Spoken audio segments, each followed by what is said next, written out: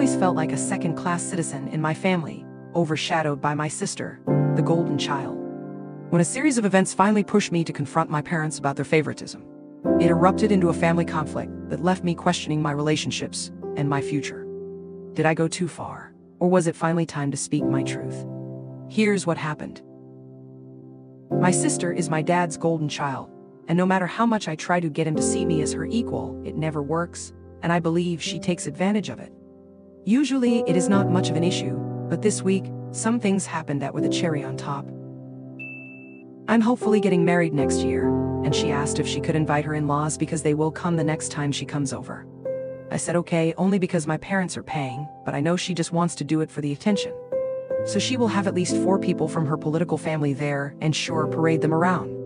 Also, my parents are about to have a big anniversary in November, but they are postponing any celebration because my sister, who lives overseas, doesn't want to travel for so long until things are even calmer.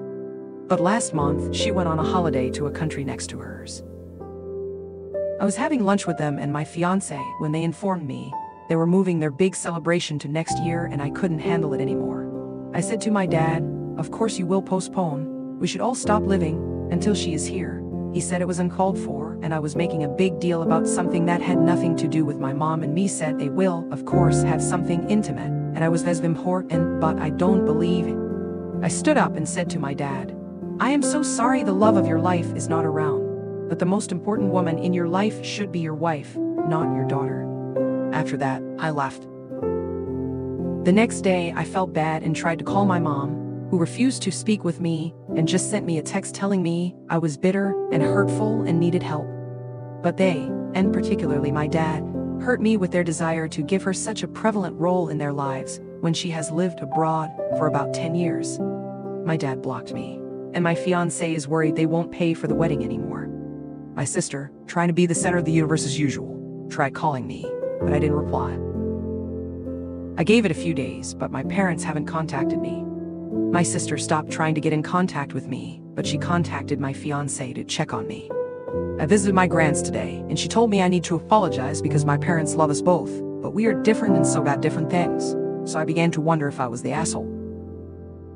I just want some days where I am the most important person to my parents, and still believe that my sister's golden child status should be addressed and corrected.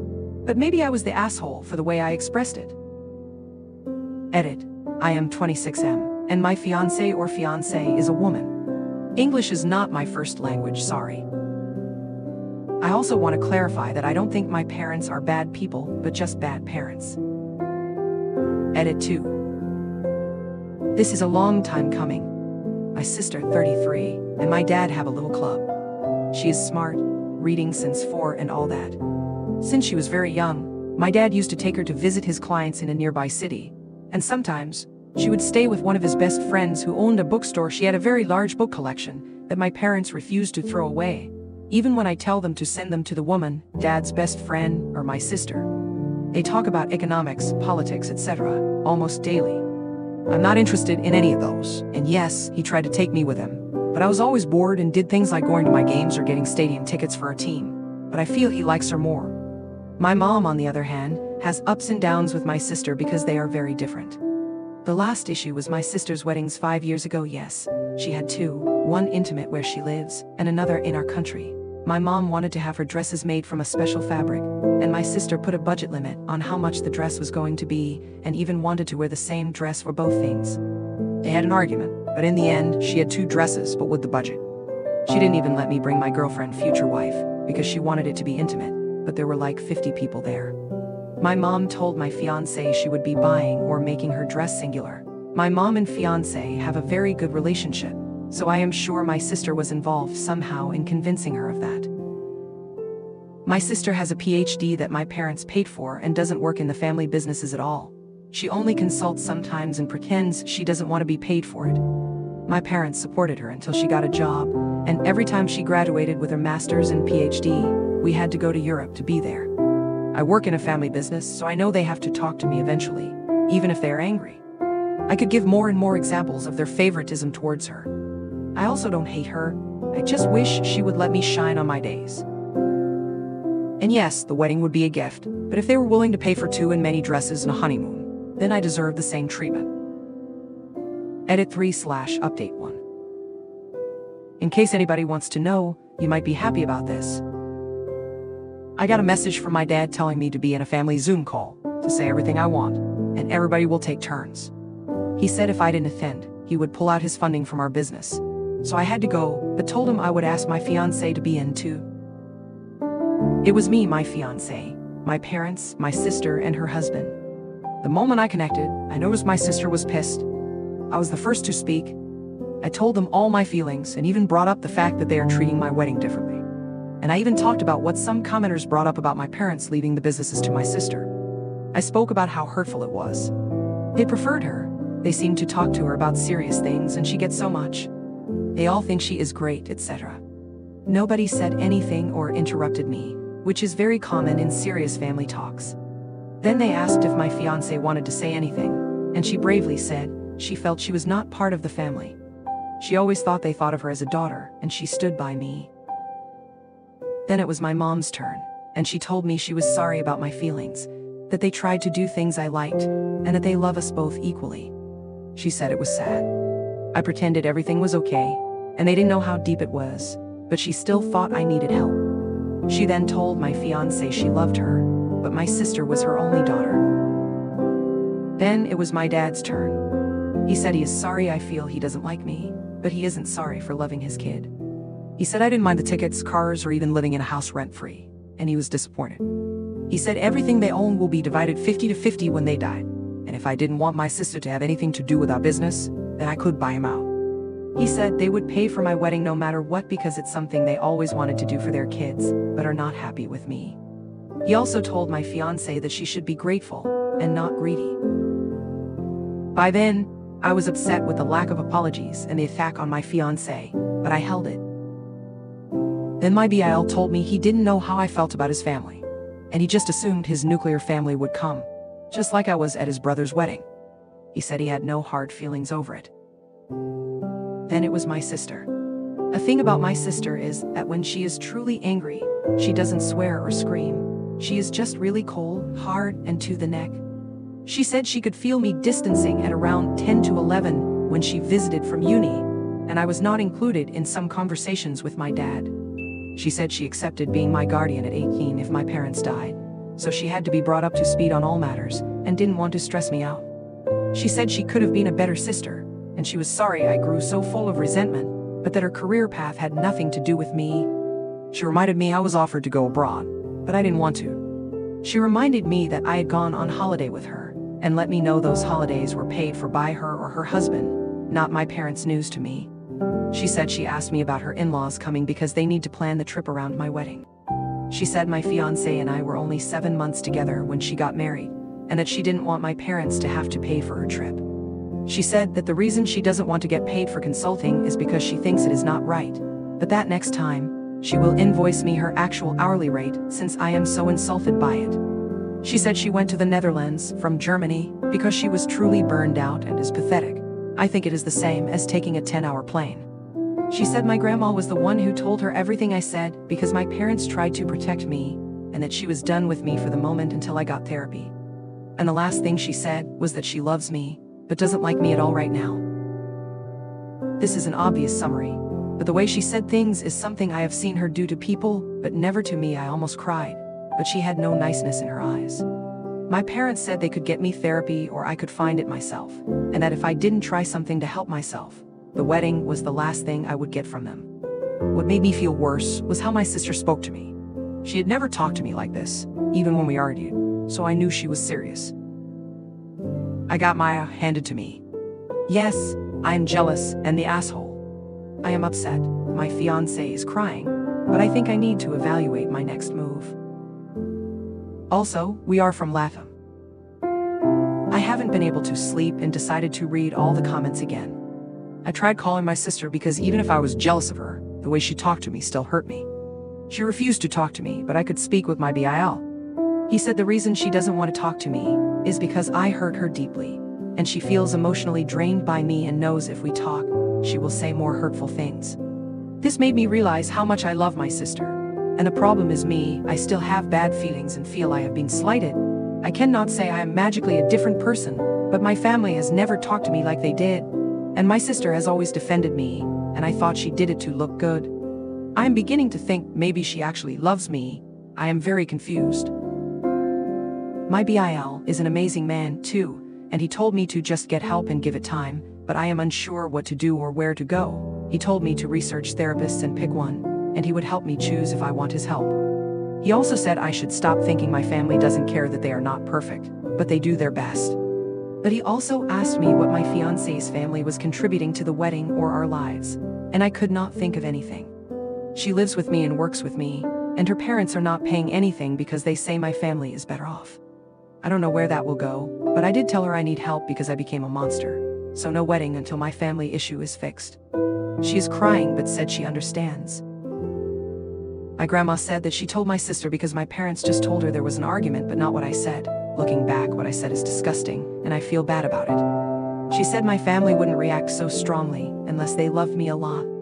I asked my dad if I could take some mental days off, not a thing in my country, and he said it sounded like a good thing and reminded me they love me and just want me to be happy and not just pretend to be happy. Also, the books are in her walk-in closet in her bedroom at my parents' house. They still have a lot of my stuff in my bedroom, and my parents said I'm welcome to go to Sunday meetings whenever I feel ready. I also must admit that she did two weddings because my parents asked if she would be willing to do so. My mom wanted to get her super fancy dresses, and in the end they got two dresses for about 600 euros because my sister put a limit of 300 per dress. I think maybe I am jealous of her because she is actually better than me. I just don't want to feel like this anymore or hurt my family anymore. So I guess I can thank Reddit for the hard comments. I have so many issues and so much jealousy about my sister to get over I don't know where to start. I am beginning to doubt if I am even ready to get married. But if the comments had been full of support, I would probably not have seen them. And of course, my family call was really something hard to be in. In a family where boundaries and respect seem to have flown out the window, I found myself caught in the middle of an unexpected housing crisis. When my sister-in-law and her family took advantage of our hospitality, leaving a trail of mess and chaos, I had to make a tough decision. Was I wrong for throwing them out and standing my ground against entitled behavior? Here's how it all unfolded. My husband has two brothers and one sister. His sister and her husband are not my favorite people in the world.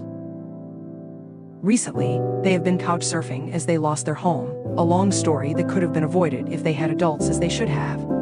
First, they stayed with my in-laws, but they used the excuse that my FIL has diabetes to get rid of them and their rowdy children. Next was his older brother and his wife. They had two spare rooms as two of their older children moved out a year ago, and they only have the six-year-old and their 13-year-old twins at home. After three weeks, they had to move out due to a planned refurbishment. They were happy with them as they were generally tidy and helped out in the home. Youngest brother was the next to take them in. While my SIL was there, she helped out at home and kept her children on a leash. The youngest brother's wife is very house proud, and she allowed them to stay for a limited time, only as they have had a baby recently, and her mother will be staying with them to help out for the first six months. Then, they emotionally manipulated my husband to say okay. I agreed to it on the condition that she and her husband, as well as their children, keep the place clean because in the past, the only place they were messy was my home.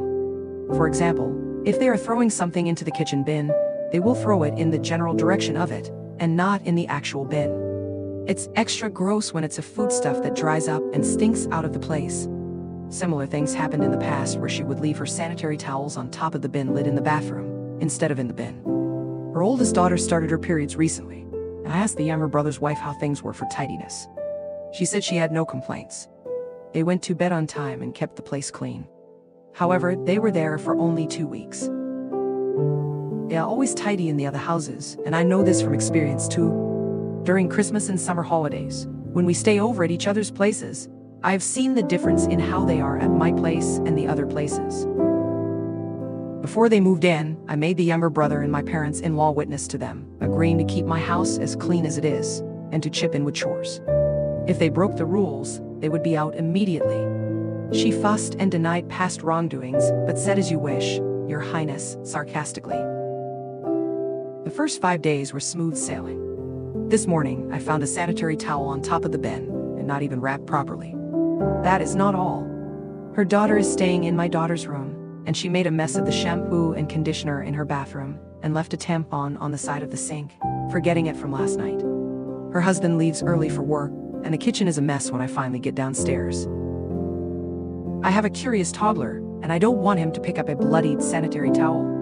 I knocked on the guest room and told her to pack her shit and get out. She looked angry and tried to play innocent.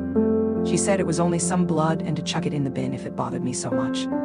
I told her no and picked up her suitcase, throwing their stuff in it. At first, she wouldn't leave the house, saying she was going to wait for her brother as she doesn't take orders from me, but I told her this house belonged to me too. I dropped her and her youngest ones off at my in-laws. A few hours ago, her husband came back from work, and when I wouldn't let him in, he made a scene. He went to my in-laws, but they don't want them there due to FIL's illness. When my husband returned from work, my in-laws turned up in our driveway with her and her family within 20 minutes. They are still standing outside and squabbling about being let in. I refused to open the door and told my husband that if he backed down, he wouldn't be welcome in our home either. So the family thinks am I the asshole because I have never liked her and am using any excuse to get rid of her. Yesterday, my driveway looked like a scene from some Mexican standoff. They were out there discussing the matter while I refused to go out and engage. After two hours, yes, two whole hours, they left. They are currently at my in-laws, but they made a promise to return to discuss the matter tomorrow as everyone will be home from work, and that way, we could all find a workable solution. Well, at least that is what my husband relayed. When my husband got inside, I told him that I would not have them in my house. I told him that he could clean up after them, which he did. After cleaning up, he asked me why I'd made him do that. I told him I was just as grossed out over other people's bodily fluids as he was, and unlike him, I wasn't biologically related to them. So if he found it unsavory, imagine how shitty I felt in the past cleaning up after them. He promised to buy a new bin and bleach the sink three times. Our strategy for tomorrow is that under no circumstances are they coming to live with us.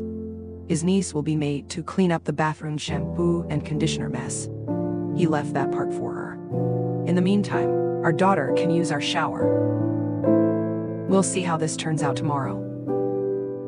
Yesterday was a long day at my in-laws' house. We went early to get it over and done with. My in-laws started with the guilt trip first. They mentioned that they would take them in until they found a place, but due to FIL diabetes, it wouldn't be good for his health.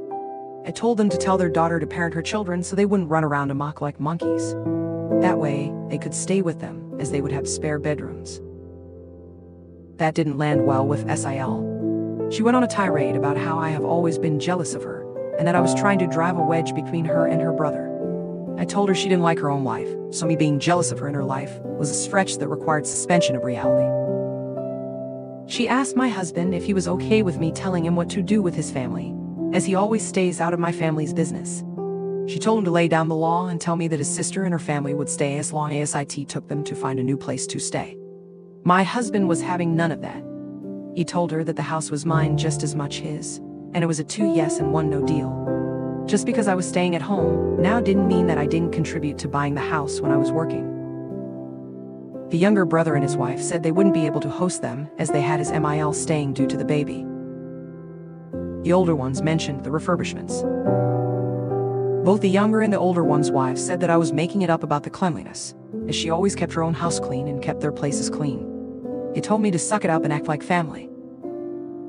I told them I wasn't there to argue about her cleanliness, as I saw what I saw, and her brother was witness to it and had to clean it up. He confirmed that he did, and that I wasn't making it up. My SIL slipped up and said, Why did you clean it up to her brother? According to her, I was meant to clean it up. Either she is the dumbest bitch alive to admit it, or she knows she has the whole family in her pocket. Either way, I made it clear she wasn't going to stay with me, and because she got along much better with everyone else in the family, they would figure out something around their own lives. My husband told his niece that she was old enough to clean up the remaining mess, but she said no. Her father jumped in and said she is your niece, but my daughter, don't you dare tell her what to do. It got heated between them, so they both had to walk it off. I told her and her husband that the only reason me and my husband were there was to get money back for the bin we had to throw out due to her sprinkling biohazards around the house. She laughed in my face and said it would never happen. I said, fine. I hope you realize that when I threw you out, I didn't pack all your belongings.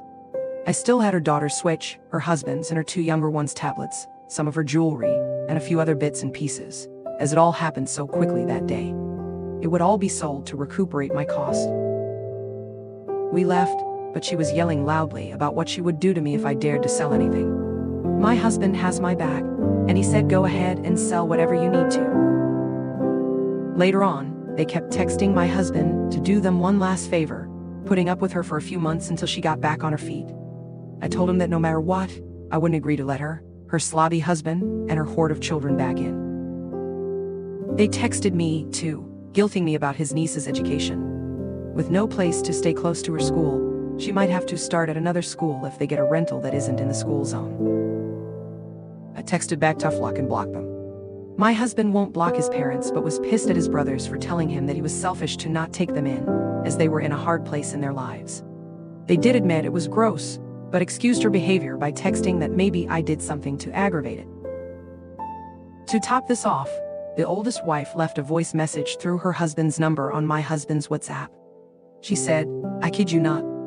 You are still okay to watch your six year old on Tuesdays and Wednesdays like usual. I told him to say, figure out what the answer to that request is. So that is where we are now. I went to pick up my children, but I had to stick around a little longer as a new family was moving to the area. The parents wanted to meet their children's classmates' parents. So we had a small meet and greet. The office brought my husband's older brother's daughter, the six year old, to me as I usually pick her up, and on Tuesdays and Wednesdays, she stays with me. No one had picked her up, and when her teacher noticed me waiting in the hallway, she asked an office admin to bring her to me, thinking I was delayed due to meeting with the new parents. I told them that I wasn't responsible for any more on Tuesdays and Wednesdays. They took her back to the office, and they must have called her mother. When I returned home from the meet and greet, my husband said his parents had called him and spoken their minds about me abandoning their granddaughter. They also put his older brother's wife on the phone, and she was shouting at my husband. And I kicked out also had a few words with him. It ended with my husband telling his parents that they had lost the privilege to talk to him for a week, and he would only unblock them when they gave him and me a sincere apology. He explained that it was up to the parents to make pickup arrangements when I had made it clear I would no longer provide free services. The SIL I kicked out is staying with her parents for now. Her husband and her younger two and two of the older ones are staying with my in-laws. The other older two and the other two younger ones are spread between the other two houses, but they made an indirect threat, saying it would be a very temporary arrangement, as she promised it wouldn't take long for her to make her brother see the light. I think I am in for a long ride.